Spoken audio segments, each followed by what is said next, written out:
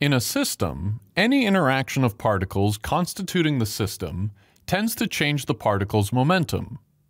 Still, the total momentum of the system remains constant in the absence of any external forces. The requirements for momentum conservation are the system's total mass remains unchanged